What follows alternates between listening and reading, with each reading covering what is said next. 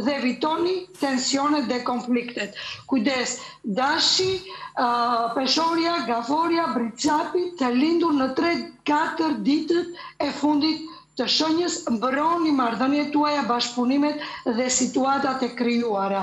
Të dielën dhe të hënën janë dy ditë shumë të mira, kryesisht për përfitime financiare.